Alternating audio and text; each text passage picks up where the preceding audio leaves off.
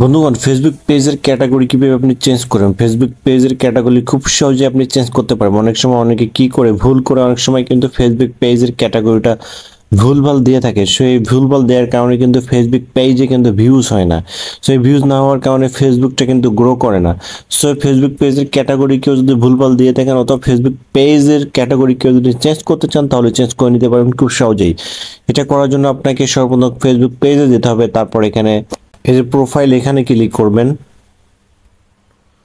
তারপর এখান থেকে আপনারা ক্লিক করবেন। এখানে ক্লিক করবেন। তারপর এখান থেকে থ্রি ডট মেনু আছে থ্রি ডট মেনুতে ক্লিক করবেন। তারপর এখান থেকে আপনারা চলে যাবেন হলো এডিট অপশন এডিট অপশনে ক্লিক করবেন। এডিট অপশনে ক্লিক করবেন।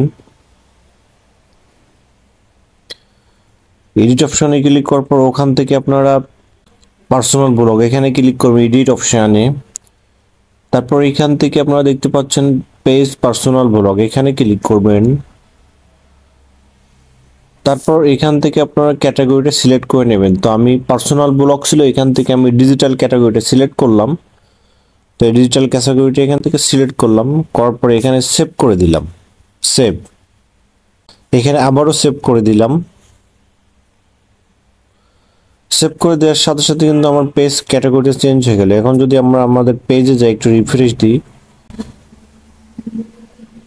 রিফ্রেশ দেওয়ার পরে দেখুন বন্ধুগণ, এই যে ডিজিটাল ক্রিয়েটর হয়ে গেছে। আগে ছিল আমার হলো পার্সোনাল ভ্লগ এখন কিন্তু ডিজিটাল ক্রিয়েটর হয়ে গেছে। সো এইভাবে কিন্তু আপনারা খুব সহজে আপনাদের পেজটাকে পেজের ক্যাটাগরিটা সহজে চেঞ্জ করে নিতে পারেন।